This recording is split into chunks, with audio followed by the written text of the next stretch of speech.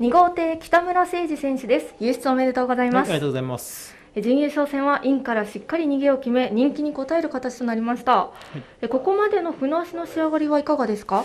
えー伸びは普通ぐらいで、まあ、ターン回り系はいい仕上がりだと思います。そうなんですね。はい。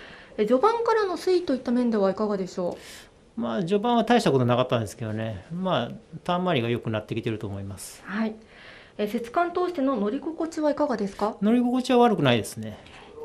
優勝戦当日の作業ですが何かイメージされていることはありますか？えーっと、もうペラだけで調整しまわす。かりましたえ優勝戦は2号艇でのレースになりますがコースを含めレースイメージはいかがですか？うん、まあ、枠なり想定で、まあ、レースイメージは臨機応変に行きたいと思います。はいえ今節スタートの見え方はいかがでしょう？まあ、感動りですね。はい、えそれでは最後にファンの皆様へメッセージをお願いしはい、ます、頑張ります。